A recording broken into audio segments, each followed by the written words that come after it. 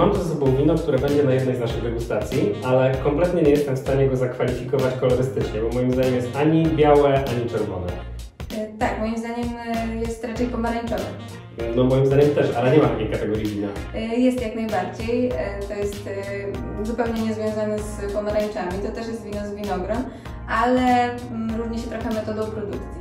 Czyli to nie jest błąd, to nie jest tak, że ono nie wyszło, ono takie miało być. Takie dokładnie miało być. Okej, a to jest wino, które będzie na degustacji dla wtajemniczonych, czyli rozumiem, że trzeba już pewnie wypić 70 miliardów litrów każdego z białych i czerwonych, żeby zrozumieć o co chodzi w.